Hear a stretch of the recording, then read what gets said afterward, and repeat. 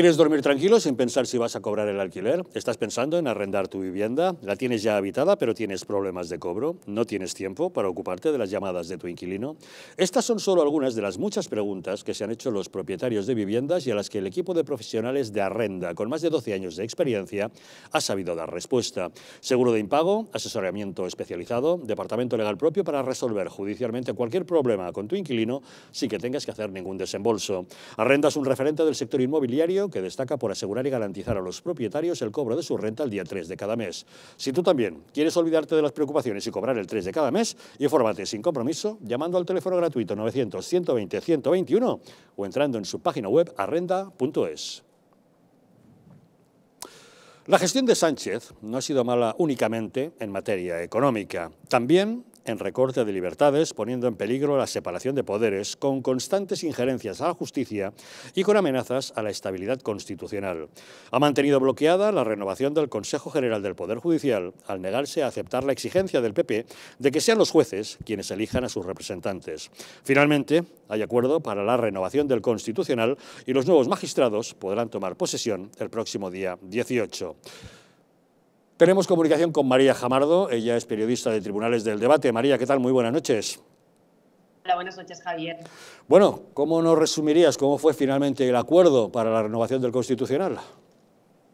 Bueno, yo creo que era un acuerdo necesario desde el punto de vista de ambos partidos eh, por renovar esas eh, instituciones constitucionales para cumplir el mandato vigente, para atender además a la necesidad de los propios órganos, que en algunos de sus casos ya estaban prorrogados en exceso, y sobre todo para garantizar que la prestación de las funciones para las que han sido concebidos eh, pues fuera plena, ¿no? Estaba ya en cuestión desde hacía mucho tiempo la legitimidad de algunos de ellos, entre los más relevantes, el Tribunal de Cuentas y el Tribunal Constitucional, que si bien no son poder judicial como tal, sí son órganos constitucionales, instituciones, por lo tanto, en defensa de la legalidad y del cumplimiento de la misma en el Estado de Derecho, que habían sido cuestionados por distintas cuestiones y que afectaban a las causas de trascendencia política, por lo que eh, lo más sensato era llegar a ese acuerdo con independencia de que el resultado del mismo sea más o menos aceptado o aceptable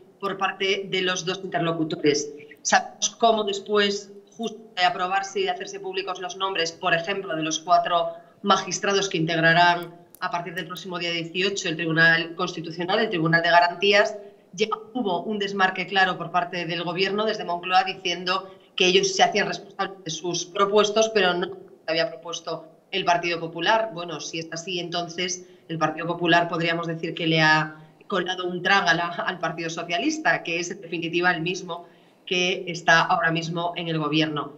Lo cierto es que nos en dificultades algunos de los que serán futuros magistrados han enfrentado en las últimas verdadera cacería, aún atacarles eh, gratuitamente en algunos casos para desprestigiar una labor que todavía no ha empezado y que ha superado el primer trámite eh, parlamentario, que era esa comisión de nombramientos en la que debía analizarse su viabilidad.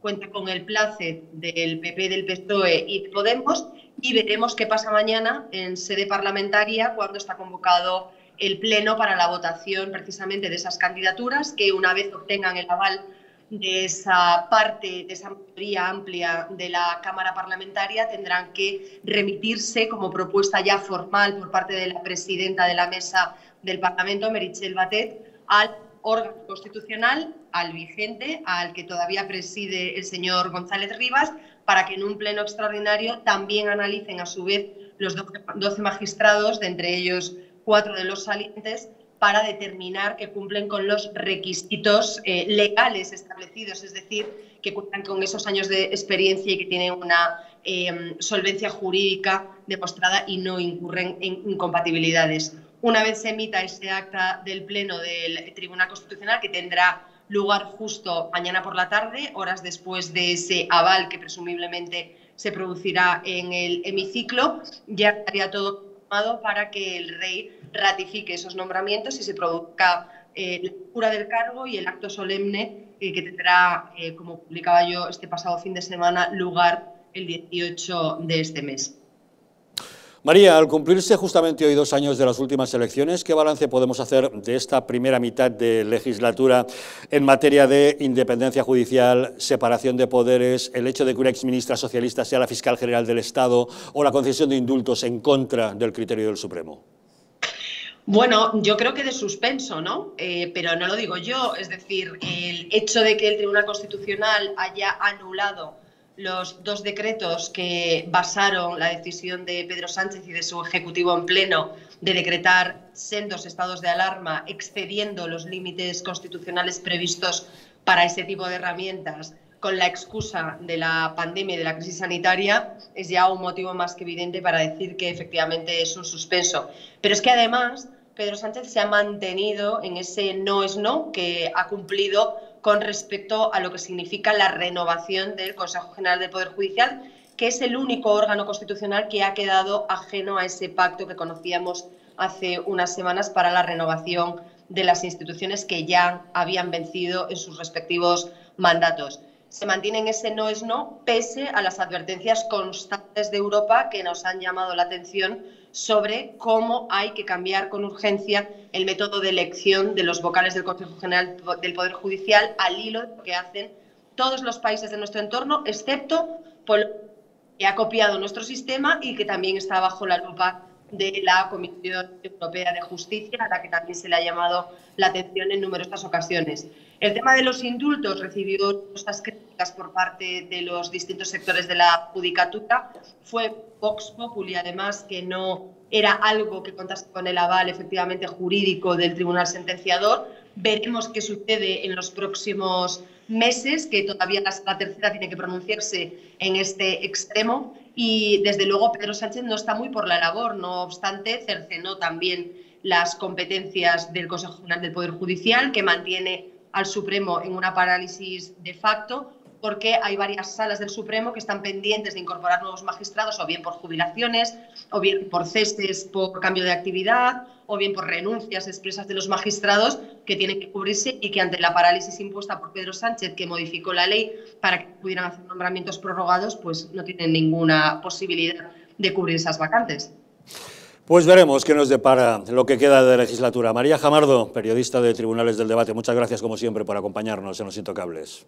Gracias a vosotros, un abrazo. Un abrazo. Pedro Luis, balance judicial de la legislatura. insisto, es que el modelo e, es muy extraño, ¿no? Porque entonces tienen un constitucional, tienen un Consejo General del Poder Judicial, y tienen una burocracia enorme. Y yo estoy de acuerdo con Pablo Casado, que los jueces sean electos por los jueces. Pero ¿cómo era antes? O sea, ¿cuánto tiempo tiene pasando esto? Hasta el 85 los jueces elegían a los jueces y fue Felipe González en la reforma quien dijo que no, que tenían que elegirlos los políticos. Ok, entonces desde el 85 hasta la fecha, PP y PSOE se han repartido... Se, ha, mantenido este sistema de elección. Vale, entonces, oye, mire, ya va siendo hora de que lo cambien, en Venezuela, en Venezuela, la deuda se incrementó enormemente durante el gobierno, el primer gobierno de Carlos Andrés Pérez.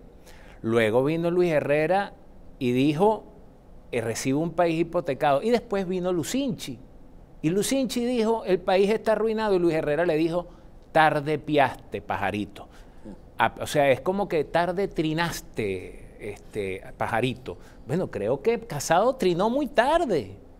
Este, eh, tiene razón. a Casado no se le puede hacer responsable. En ah, todo caso, puede usted eh, meterse con Rajoy, está bien, que no lo alteró. Perfecto. Porque estuvo en el gobierno. Casado no. Lo que pasa es que aquí doña Yolanda nos ha dejado que, ah. claro que Casado es el PP, PP es el Casado y el PP somos todos. Bueno, pero no, pero, pero Casado no ha gobernado, con lo cual. Lo sé, entiendo. Puede, usted sospechar de él, pero es una hipótesis. el PP ¿Ah? y el PSOE han trabajado así todo este tiempo hasta que que es lo que, lo empato con, con, el segmento anterior, vieron lo que, es, lo que es la amenaza, vieron la verdadera amenaza, vieron que hay un plan, porque ya también, insisto, el modelo español viene con falla de origen, porque el legislativo no controla al ejecutivo, porque el legislativo inviste al ejecutivo. Y cuando es un un gobierno que, por cierto, los medios palmeros se ufanan a cada rato en decirlo, oh, el primer gobierno de coalición, pues si siguen así, todos los que vienen van a ser gobiernos de coalición, no hay otra. O sea, no, no dejen de hacer tanta propaganda. como son todos tan chiquiticos, ¿verdad? Y todos quieren estar en el poder, válgame Dios, Podemos, que, que, llegó a, a la vicepresidencia, se agarran como una garrapata en la parte de abajo ahí de un toro y entonces no hacen nada para controlar al Ejecutivo. Nada, absolutamente nada. Entonces vieron la amenaza, ¿por qué? Porque estos tíos tienen el legislativo, tienen el Ejecutivo y se van a cargar el judicial también, la tiranía perfecta. Entonces ahí fue que reaccionaron, pero han debido hacerlo como partido mucho antes.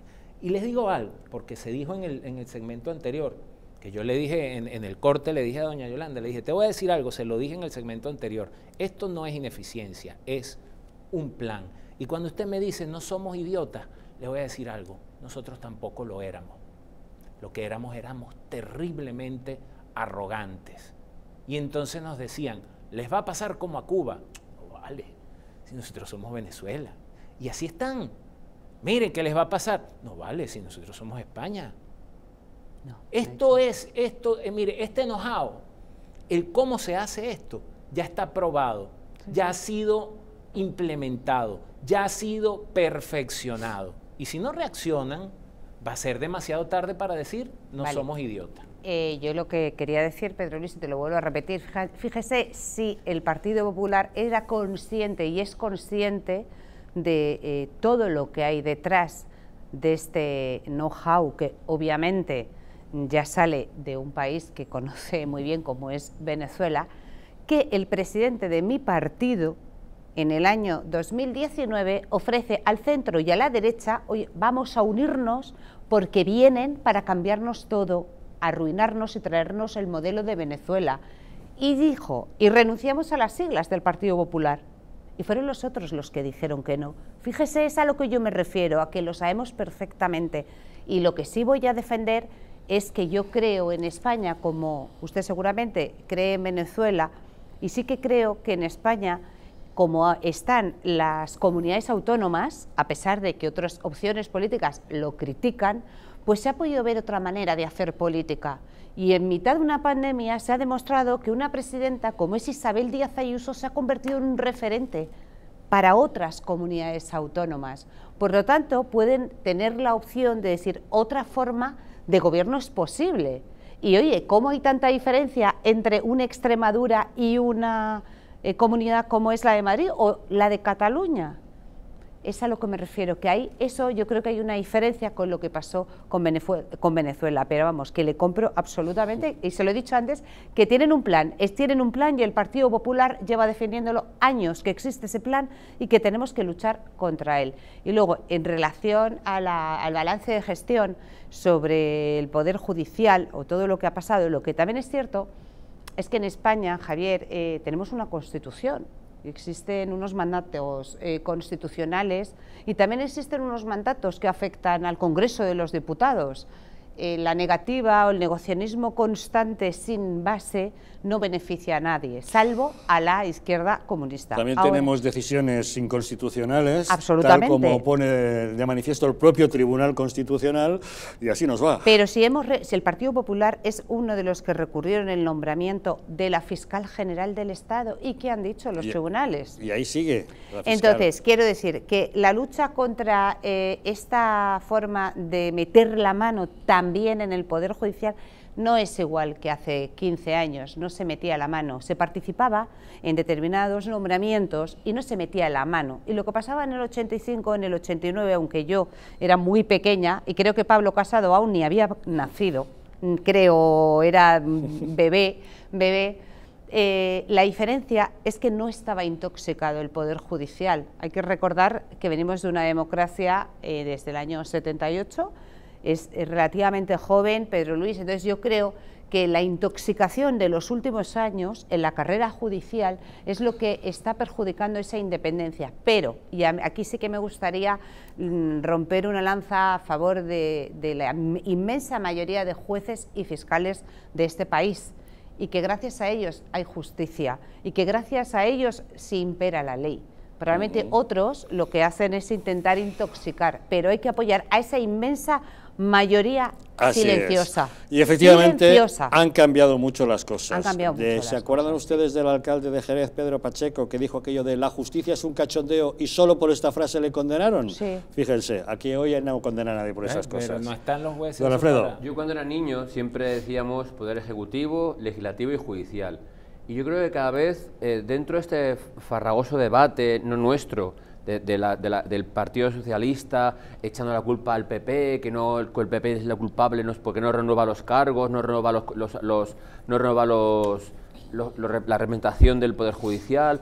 Es decir, al final sí que es cierto que nuestra legislación pone que se podrá elegir, que podrán elegir o deberán elegir. Pero al igual se han cambiado cosas puntuales en según qué momento, se puede cambiar igualmente. Y yo creo que yo creo que eh, deberían ser los jueces quienes eligiesen a los jueces. A mí me da mucha pena, pena y a veces vergüenza, y lo digo así de alto cuando digo a jueces y juezas para la democracia, en el cual su sectarismo, su sectarismo es tan rancio y radical que da vergüenza que esa gente administre justicia. Y eso es una pena para nosotros y para los espectadores y para cualquier ciudadano que caiga en manos de un, magistrado de ese tipo. Es decir, los jueces deberían ser imparciales y, como ha dicho Yolanda, silenciosos. Es decir, administrar justicia, ¿cómo es? Podemos estar de acuerdo con las sentencias, acatarlas, hay que acatarlas, pero podemos estar de acuerdo o no, recurrir o llegar al órgano que, que podamos hacer para recurrir esas sentencias. Pero que un juez se ponga de parte de un lado o de otro, calle según qué cosa o no cosa, o diga, opine según quién o quién no diga las cosas, a mí, en democracia y como Estado de Derecho, Javier, me da vergüenza. Y que eso debería eh, eh, eh, cambiarse y controlarse sin ningún género de dudas. Pues si se manipula la justicia, ¿cuál es el siguiente paso? Neutralizar a la policía. Y de eso vamos a hablar también, porque resulta que PSOE y Podemos ya han pactado una reforma de la Ley de Seguridad Ciudadana, la que han querido llamar como Ley Mordaza, pero bueno, es la Ley de Seguridad Ciudadana. Y ha generado eso un gran recelo en la policía y también en la oposición. Se permitirán las manifestaciones y protestas que se generen de manera teóricamente espontánea, es decir, no hará falta comunicarlas a la delegación del Gobierno. Se contempla la posibilidad de aplicar multas en función del poder adquisitivo del sancionado, es decir, que si usted comete una irregularidad pero cobra menos de 1.500 euros al mes, pues la multa será solo la mitad. Es decir, los delitos serán distintos en función de lo que usted cobre. Se restringirá el material antidisturbios, lo que puede dejar indefensos a los policías frente a los alborotadores. Se cuestionará la veracidad del atestado policial. Se reducirá a dos horas, en lugar de seis, la permanencia en comisaría para ser identificado.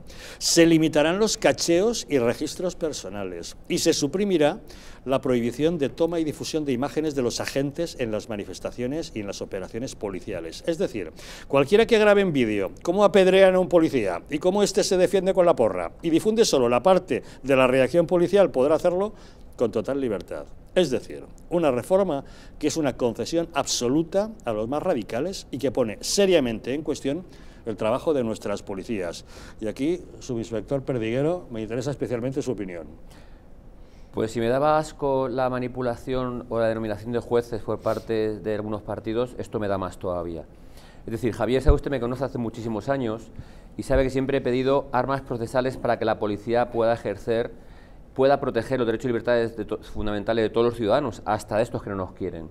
Y he medido armas procesales porque, evidentemente, eh, nosotros ponemos a disposición judicial a un ciudadano que supuestamente ha cometido un hecho delictivo.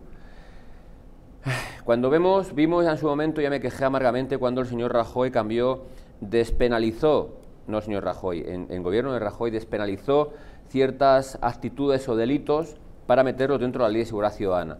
Bueno, cuando menos, eh, yo siempre digo que el Código Penal es lo que debe estar por encima de todos y el que, el que la hace que la pague con respecto al Código Penal.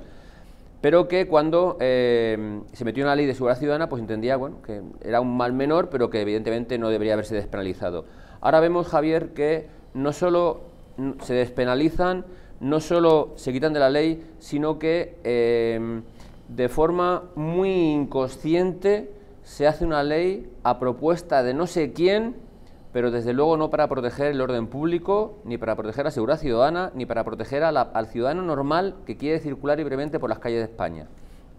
Ha dicho varios puntos, son los más gravosos y lesivos, en los cuales, por ejemplo, fíjese, eh, sabe usted que todas las manifestaciones convocadas, autorizadas, convocadas o comunicadas, que el derecho de manifestación y reunión es uno de los derechos que más legislados y regulados están en España, eh, pues van acompañados por fuerza policial en virtud de la gente que se supone que va a asistir, de la gente que dice información que puede ir a, desmontar o atacar a esa gente, es decir, para proteger a la gente que se manifiesta libremente de, cualquier altercado. Bien, ahora vemos que no hace falta ni comunicar, no, no, solicitar autorización, ni comunicar. Con lo cual puede producirse de manera espontánea. Claro, espontánea. Ahora se juntan 100 espontáneos y revientan un barrio de Madrid, y, no hay... y no había presencia policial, puesto que no habían sido previamente advertidos. Correcto. Ahora revientan hace unos daños, como fue cuando el, famoso Pablo Hasél, de, de 300.000, 400.000 euros en daños en actos vandálicos. ¿Quién apechuga con ello? Es que, y lo voy a decir, estos que han aprobado esta ley de seguridad ciudadana deberán ser responsables subsidiarios o civil de esos daños que ocasionen estos irresponsables violentos que tienen por norma reventar Madrid o reventar España porque no les parece bien o no les cae bien o no les o no creen oportuno el hacer lo que hay que hacer, ¿vale? Mire, eh, cuando nos han dejado intervenir no ha pasado ningún incidente. Si recuerda la última concentración que hubo con el Pablo Hasél, que salían de la tocha no sé cuántas asociaciones de extrema izquierda. Había un miedo terrible a que se liara. Iban a reventar Madrid. Y el operativo policial funcionó perfectamente. En el Paseo del Prado se acordonó, se les embolsó, se identificó, para casa. No pasó nada, ni un incidente. Cuando vemos que por parte de las delegaciones de gobierno, pues nos mandan aguantar, nos mandan eh, a pechugar y ver lo que pasa sin hacer nada, sin dejarnos intervenir o intervenir poquito, es lo que hay. Ahora dicen, en, otro artículo de la ley, es que hay que utilizar material antidisturbio el menos lesivo. Es decir, en virtud de lo que tiren, eh, hay que tirar, ¿vale? Si nos tiran piedras, ¿qué tiramos? Plumas por ejemplo.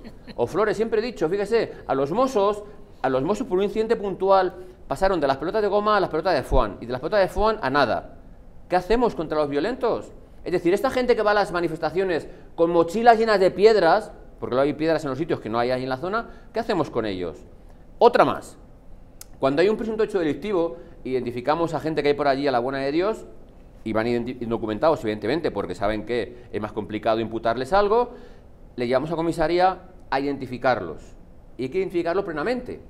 Es decir, si Yolanda, por ejemplo, ha cometido un hecho delictivo, está en, en, alrededor de un hecho delictivo, hasta que no sepamos fehacientemente quién es, no se marcha. Con la ley del 4 de 2015, la ley de seguridad ciudadana, hay que hacer averiguaciones, hay que hacer, eh, eh, hay que utilizar las, las aplicaciones policiales para saber, sin ningún género de duda, quién es. Cuando entra en comisaría se hace un papelito, un documento, va a la aplicación, va, al escorial, es decir, se hace una, una, comparecencia en el cual ella sabe a qué hora entra, el tiempo que ha estado y a qué hora sale. Firma el papel, se da por enterado y se marcha a su casa, ¿vale? Hay veces que tenemos seis horas porque son dos, tres, cuatro horas hasta que identificamos a alguien, vemos qué es lo que hacía y vemos que está relacionado con el hecho delictivo. Ahora lo limitan a dos horas. Dos horas. Le puedo asegurar, Javier, que veremos a ver cuántos presuntos delincuentes se van a la calle por no haberlos podido identificar. Porque claro, el problema es que a partir de las horas y un minuto ya sería una detención ilegal. ¿Quién se va a jugar el pan de sus hijos o, su pan por cometer una detención ilegal? Pues evidentemente habrá que hacer lo que ellos dicen, dejar, mandar a la calle y a la buena de Dios. Es decir, ahora vemos igualmente el, el consumo de sustancias estupefacientes en la calle es una falta eh, leve en vez de grave. Pero si eso, ese dinero iba para las delegaciones de gobierno, no iba para la policía. Es decir, nosotros a quien pillábamos consumiendo sustancias estupefacientes, se levanta un acta, una propuesta de sanción para la delegación de gobierno, que es la que pone la multa en virtud de lo que hay, al igual que las armas blancas. Eh, se levanta un acta para la delegación, delegación eh, propone para sanción y recauda esa multa. Por tanto, eh, al igual que la señora antes ministra se, levantaron para levantar para tal, las delegaciones de gobierno ahora van a dejar de recaudar porque ya no va a ser lo que recaudaban con respecto a las... A las es decir, ¿está permitido el consumo de drogas en la calle? No, pero es poquito. Es decir, ¿se puede consumir? Sí, tú sabrás. Pero un porrito. Un poquito, sí, o sea, o sea, poquita cosa. Según ETA es poquita cosa. Es decir, yo lo que voy... Eh, si tenemos una ley, mire, cada vez, Javier, sé que no, al final no es... Hay muchos grupos que han puesto que vamos a tener gafas de madera en la calle porque ante lo que están haciendo, evidentemente, nos están perjudicando severamente en nuestro trabajo policial, en el trabajo del día a día. Los compañeros no lo van a hacer porque evidentemente al final hemos demostrado que gobierne quien gobierne, ahí están los resultados, ahí están las estadísticas y está nuestro trabajo hecho eh, a pesar de, de nuestros dirigentes. Pero sí que es cierto que eh, en lugar de favorecer el trabajo de la policía, eh, nos lo perjudican severamente. Ahora el atestado policial hay que demostrar que decimos verdad. Es decir, el atestado policial eh, ya no es, ya no se nos da la veracidad que tiene como, como agente de la autoridad, sino que dice que hay que demostrar salvo que tenga cosas incongruentes, y si no demostrar que realmente es verdad. Pero esto sabe por qué lo hacen, por lo de Alberto Rodríguez, porque como fue condenado eh, basándose en el testimonio policial de que había agredido a un agente del orden, y ellos argumentaban de que no había ninguna otra prueba salvo la palabra del policía, y eso, lógicamente, un atestado policial. Hay que creerlo, porque es un funcionario de la policía que lo ha certificado. Ahora, pues mire, ya no se le va a dar veracidad. Mire, Javier, yo por desgracia, evidentemente soy el primero en estar interesado en que no se mate no se asesine más a mujeres en España, ¿vale?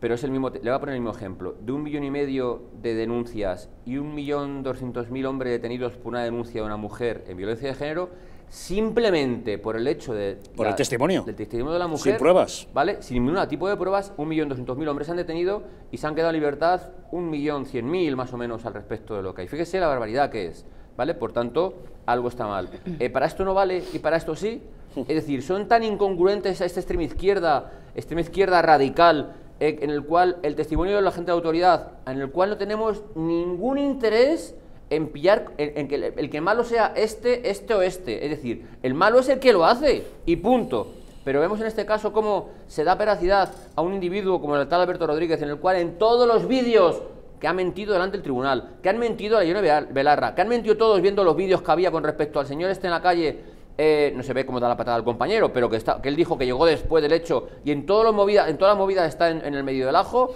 porque es muy característico al, final el señor por los pelos que tiene, entre otras cosas, pues eh, eh, ponen en duda porque el policía dice que no tiene por qué tener ser, ser veraz o tener veracidad su testimonio. Para nosotros sí, para las agresiones sexuales no, para la violencia de género no y para otros sí, no sé. Y digo, yo digo, estamos entrando en una, dinámica jorobada. Esta reforma es una barbaridad. ¿Algún rápido comentario al respecto? Sí, bueno, pues yo simplemente me gustaría volver a recalcar todo el apoyo, eh, Alfredo, desde el Partido Popular a las fuerzas y cuerpos de seguridad del Estado, que desde el Partido Popular estoy segura que en el Congreso se va a luchar para que esta barbaridad no se lleve a cabo y que el matiz de un nombre de una exdiputada de Unidas Podemos madrileña, que está también ya colocada en el gobierno de Pedro Serra.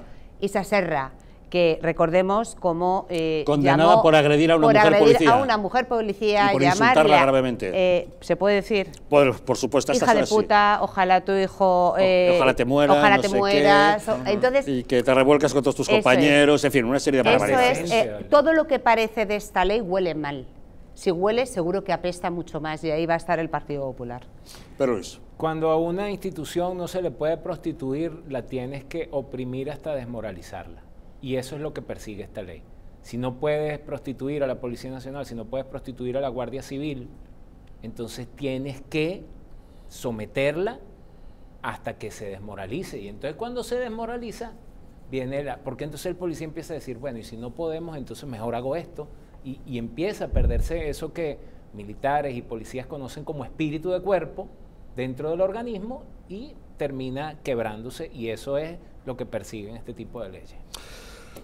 Don Pedro Luis Pedrosa, muchas gracias por habernos acompañado. A sus órdenes, don Javier. Gracias, Yolanda Estrada, por haber estado con nosotros. Gracias a ti. Muchas gracias, don Alfredo Perdiguero, por acompañarnos. Un placer, don Y todo nuestro apoyo a las fuerzas y cuerpos de seguridad del Estado, que sois nuestros ángeles custodios que veláis por nuestra seguridad para que nuestras calles sean más seguras. Y queremos que os dejen hacer vuestro trabajo como merecéis. Así será, muchas gracias. Javier. Muchas gracias. Levantamos nuestra mesa política, pero no se vayan lejos, que hacemos una pequeña pausa y de inmediato recibimos a un técnico para hablar de la nueva ley de vivienda. Otra polémica, ahora les contamos. Thank you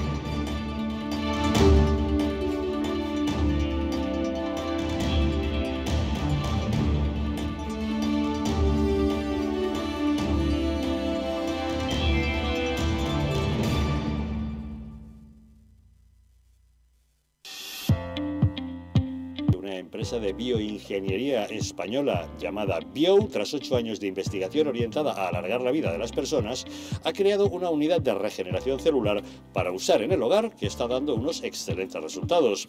Ya se ha demostrado científicamente que mejora la síntesis de proteínas, aumenta la energía en las mitocondrias y facilita la regeneración de tejidos. Eso puede cambiar la vida a miles de personas, pero en especial a aquellas con problemas de ronquidos, respiratorios o preocupadas por retrasar el envejecimiento. Y lo más importante, sin efectos secundarios, ya que es física y no química. Si llama usted al 900-730-122, puede consultar su caso y le explicarán cómo la unidad de regeneración celular Bio le puede ayudar. Se sorprenderá. La presencia del colágeno en la composición de huesos, piel, ligamentos, cartílagos y tendones es imprescindible para frenar su deterioro. Sin embargo, a medida que envejecemos, su producción se reduce. Colacel Antiox de Mundo Natural combina en una misma toma colágeno hidrolizado puro, antioxidantes, ácido hialurónico y vitamina C que contribuye a la formación normal de colágeno. Haz del tiempo tu gran aliado. Colacel Antiox.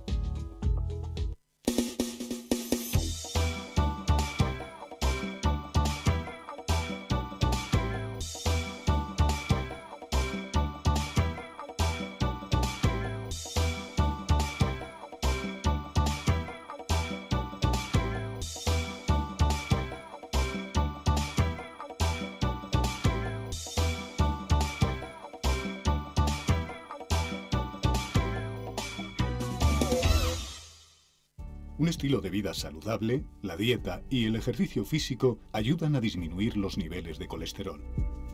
Divecol Forte de Mundo Natural contiene cardo mariano, coenzima Q10 y levadura de arroz rojo que aporta 10 miligramos de monacolina K que contribuye a mantener niveles normales de colesterol sanguíneo. Protege tu corazón, protege tu salud. Divecol Forte de Mundo Natural. ¿Sabías que en España hay 30.000 muertes por infarto cada año? ¿Sabías que después de un infarto, cada minuto transcurrido disminuye las posibilidades de sobrevivir un 10%? ¿Sabías que una ambulancia de media tarda en llegar a nuestra casa entre 10 y 12 minutos, produciéndose 3 de cada 4 infartos en nuestro hogar? Nace en España el proyecto Protege tu vida con el objetivo de salvar más de 7.000 vidas al año. Ahora, salvar tu vida depende de ti. Crea en tu hogar un espacio cardioprotegido con el mejor desfibrilador y de fácil uso. ¿Qué precio le pones a tu vida? Llama ahora al teléfono 900-730-061 o entra a nuestra página web www.protegetuvida.eu y verás que proteger tu vida cuesta muy poco. ¿Quieres dormir tranquilo sin pensar en si cobrarás tu alquiler? Con nuestro servicio de gestión integral podrás olvidarte de tus preocupaciones porque Arrenda se encarga de todo, pagándote el día 3 de cada mes sin excusas. Si tienes una vivienda alquilada o estás pensando en hacerlo, contáctanos. Arrenda, el alquiler seguro y garantizado. ¿Estamos en un auténtico Estado democrático o estamos en una patritocracia? Porque este programa se hace para ustedes. La ciudadanía está quedando atónita a lo que estamos viendo. Vamos a ver cosas que nunca se imaginarían. Lo que ha pasado en España demuestra que Falconetti no es tonto. Que la democracia, ¿qué es lo que es, amigos? El imperio de la ley. Esta izquierda rancia lo que quieren es exterminar todo aquello que no piensan exactamente igual. El castigo va a ser terrible para todos los partidos. Recuerden que no les engañen, porque la verdadera libertad consiste en estar bien informados.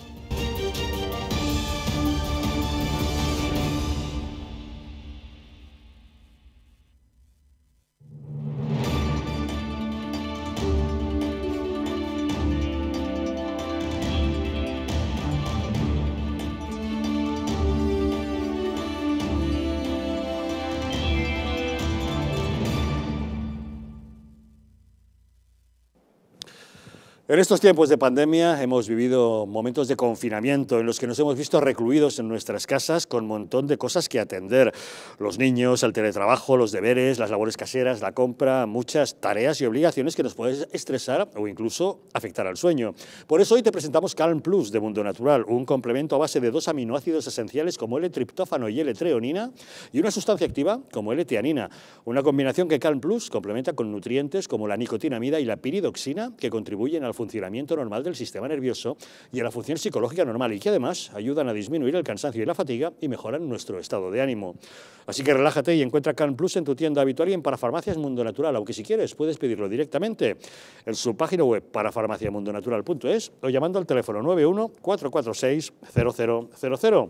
Quédate en casa con Calm Plus, es de Mundo Natural. Hace unos días, el Consejo de Ministros aprobaba el anteproyecto de ley de vivienda para que a continuación pase a ser tramitado en el Congreso. Un éxito que se atribuía a Podemos ante el PSOE, como a la ministra de Políticas Sociales, Ione Belarra, le prohibieron participar en la rueda de prensa para evitar preguntas incómodas sobre las tensiones entre los socios de gobierno, ella compareció desde su despacho para apuntarse el tanto. Hoy quería daros una buena noticia y es que el Consejo de Ministros ha aprobado la primera ley de vivienda de la democracia en nuestro país, una norma en la que hemos trabajado a lo largo de muchísimos meses desde el Ministerio de Derechos Sociales y Agenda 2030 y que nos hace sentir particularmente orgullosas una legislación que, como les decimos, ahora deberá tramitarse en el Congreso, pero que, si sale adelante tal como está redactada, permitirá limitar el precio de los alquileres en las llamadas zonas tensionadas y retirar los privilegios fiscales a los grandes tenedores, algo que ha sido muy criticado en el sector, argumentando que retraerá a los propietarios a la hora de arrendar sus viviendas. Uno de sus puntos más conflictivos es el llamado impuesto a las casas vacías, un incremento de hasta el 150% del IBI que deberán aplicar los ayuntamientos, pero ¿Cómo se determinará que es una casa vacía?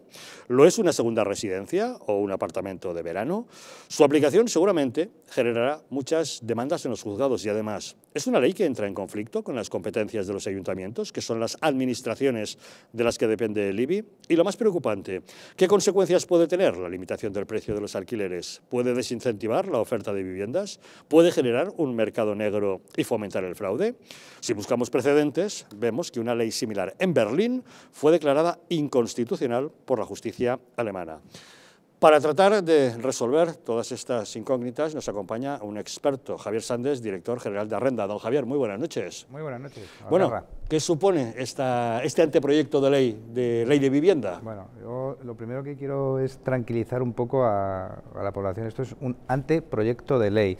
Eh, después de haberlo estado estudiando y ver todo lo que contiene, eh, está claramente es el, caramelo que ha tenido que pagar el gobierno a Podemos para que le aprueben los presupuestos. Es decir, mm, se tienen que apuntar el tanto, la parte de Podemos, de que bueno hemos conseguido, como decía la, ministra Ione Belarra, hemos aprobado la primera ley de vivienda, ya tiene ahí su campaña electoral, ya la está preparando.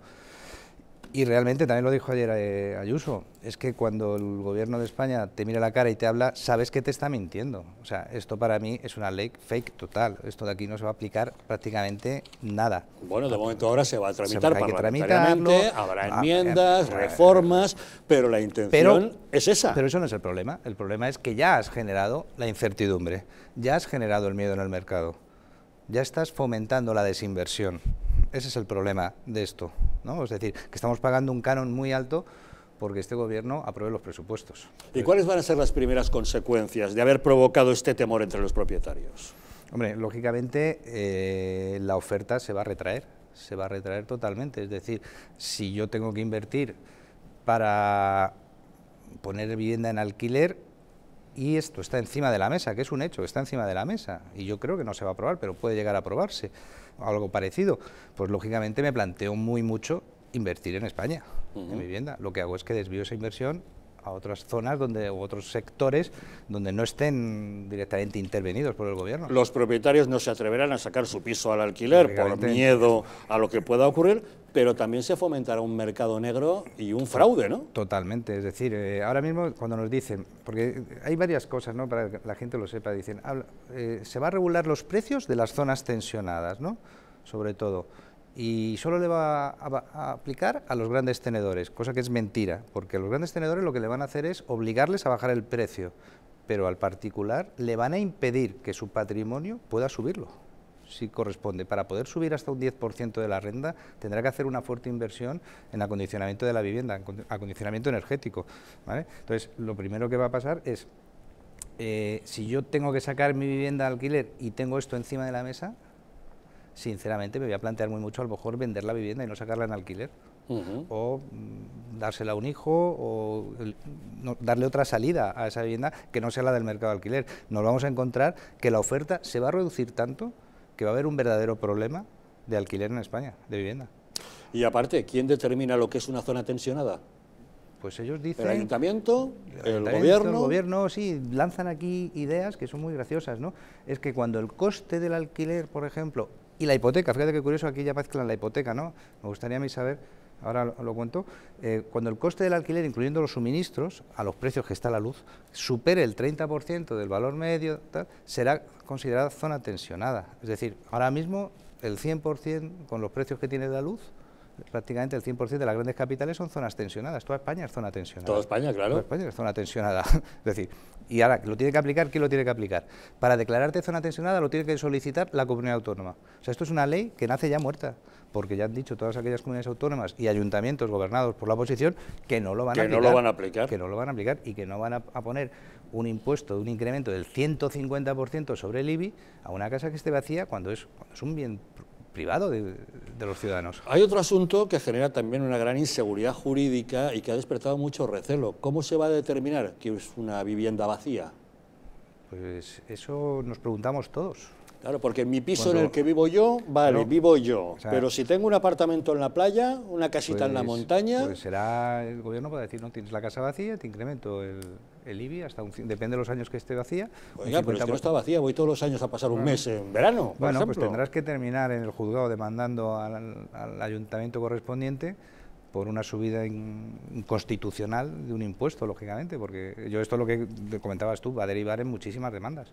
Pues claro, esos tenedores que tengan pisos que antes sacaban en alquiler, pero ahora ya no se deciden, los tienen paralizados, son casas vacías. Son casas vacías. A ver si ahora me van a multiplicar el IBI por un 150%. Ese es el planteamiento que, nos ponen encima de la mesa de este gobierno, ¿no? para fomentar y solucionar el problema de la vivienda. Eso es. Luego nos dicen eso, ¿no? que, que solo va a afectar a los grandes tenedores, es lo que nos, nos venden. ¿no? O sea, si eso fuese verdad, si eso fuese verdad, estamos hablando que de los casi 4 millones de viviendas que tiene el parque en España, le va a afectar a 150.000, o sea, un 5%. Y como yo creo que es mentira, porque además cuando a un particular le impiden sacar ese bien al mercado en busca de una rentabilidad a unos precios que él considere oportunos, están cortando su libertad, por lo tanto le está afectando. Lógicamente es un anteproyecto de ley muy intervencionista, o sea, se podría casi definir casi comunista. Bueno, en Berlín intentaron aprobar una ley similar y la tumbaron por anticonstitucional. Sí, pero si no hay que irse a Berlín, sí, vete a Barcelona. en Barcelona, a Barcelona. colado. Todavía no ha salido, no se ha el, el tribunal si es anticonstitucional, que lo hará, porque este gobierno no lleva nada más que palos uno tras otro, pero lo que tienes que ver es el resultado de las políticas. ¿Qué es lo más sonado ahora mismo que nos encontramos con las medidas que se han aplicado en Barcelona? ¿Que ha bajado el alquiler? No, que a un señor le han puesto una multa de 90.000 euros. Eso es lo, más importante ahora mismo, pero realmente la vivienda en Barcelona no está funcionando, se ha reducido un 40% la oferta en Barcelona. Ahí es cuando hay de verdad un verdadero problema de vivienda, porque no cubre la demanda. No cubre la demanda. Entonces, ¿dónde va a vivir la gente? ¿A qué edad se van a emancipar? No, este paso que va a ser cada vez más difícil. ¿No sería mejor que los ayuntamientos hicieran promoción de vivienda pública para aumentar el parque de viviendas disponibles y no se metieran en el mercado privado y que lo dejaran funcionar? Efectivamente, si el mercado, hay que intervenir en el mercado, no hay que intervenir en el mercado, hay que intervenir en el mercado. Como un actor más. Es un actor más, es decir, y siempre lo hemos dicho, hay que meter oferta, oferta en el mercado. Y la forma de intervenir es decir, vamos a hacer vivienda de protección, vivienda pública, de alquiler, incluso de venta. Ellos nos sacan aquí ahora que también van a hacer, y van a obligar que a los, a los promotores de obra nueva van a tener que dedicar un 30% de la promoción al alquiler oficial, de protección oficial. Esa medida yo siempre la he defendido. A un promotor nuevo cuando tú le dices que le das una licencia de construcción, dices, oye, dedicas un 20 un 30% a alquiler, pero alquiler libre, y tú difieres tu beneficio en X años, pero no de alquiler protegido. Imagínate que tenemos una, un solar en, en, en, la calle Claudio Coello, que es una zona prime de Madrid, y hacemos un edificio de viviendas y tenemos que dedicar el 30% a alquiler de vivienda protegida. Bueno, pues al final la gente no hará vivienda. No, hará, no harán viviendas, pero es que además con, con, el añadido de que esa pérdida de beneficio que, su, que, que va a sufrir la promotora la tienen que pagar los ayuntamientos, que esa es la letra pequeña. Entonces, ¿qué ayuntamiento va a dar una licencia? Decir, no, es que como le dé la licencia voy a tener que desembolsar yo el 30% de esta promoción. Estoy viendo muchos problemas competenciales. Entre el gobierno del Estado, los ayuntamientos, las comunidades autónomas han metido en la misma olla todos los ingredientes y es, ese batiburrillo no puede dar nada bueno. Estamos acostumbrados a ver, eh, aquí el gobierno saca una noticia maravillosa, lanza la pelota, se la pasa al siguiente y a correr, y ya está. ¿Qué podéis hacer desde Arrenda? Aquellos propietarios bueno, que nos estén viendo y que estén preocupados, que os llamen, que se informen, que consulten. Sí, o, en Arrenda, y sobre todo me imagino que queréis tranquilizarles, ¿no? Nosotros tra transmitirles sobre todo esa tranquilidad, eh, primero, en base a nuestra experiencia, decirles que pensamos que esto no se va a implantar en España, por lo menos en los gobiernos donde esté gobernando la oposición a nivel de comunidad autónoma y ayuntamientos, o sea, que estén tranquilos. Segundo, que más allá de que se aplique o no se aplique algo parecido, Arrenda está ahí para garantizar y seguir garantizando el cobro de la renta el día 3 de cada mes. En ese sentido, no van a tener ningún problema. Nosotros, bueno, tendremos mayores dificultades para seguir peleando, para seguir luchando, para seguir garantizando esas rentas, pero no dejaremos nunca de hacerlo y estaremos siempre al pie del cañón dándoles un servicio excelente. Y cualquier propietario que tenga una duda, por favor, que, que valga la redundancia, que no duden en llamarnos para, para poder aclarársela. Pues nos tranquiliza usted, Javier Sández, director general de Arrenda. Muchas gracias por habernos acompañado. Seguiremos muy pendientes de este asunto y lo iremos siguiendo en su trámite parlamentario, no sea que nos den alguna sorpresa. Seguro. Perfecto. Gracias por habernos acompañado. Muchas gracias a ti, Javier. Ya lo saben, de momento tranquilos, es un proyecto de ley que se tiene que debatir y veremos en qué acaba, pero bueno, a medida que vayan dando cualquier paso en su tramitación, le preguntaremos al señor Sández para que nos diga qué es lo que está ocurriendo. Nos vamos, gracias por habernos acompañado, pero no se vayan lejos, que les dejamos con la película esta noche, Tim, una película protagonizada por Mel Gibson, que grabó pues, eh, poco después de haber eh, rodado Mad Max. Nos relata las peripecias de un hombre que trabaja en la construcción, que tiene un ligero retraso mental, cosa que le favorece con respecto al trato que le dan los demás, que tiene una estrecha relación con Mary, a la que únicamente ve los fines de semana, y en fin, la familia de Mary sospecha de que las intenciones de este hombre sean las adecuadas o no. No les puedo contar nada más. Vean ustedes la película, como decimos como Mel Gibson, disfruten de ella y nosotros les esperamos mañana nuevamente aquí, en Los Intocables.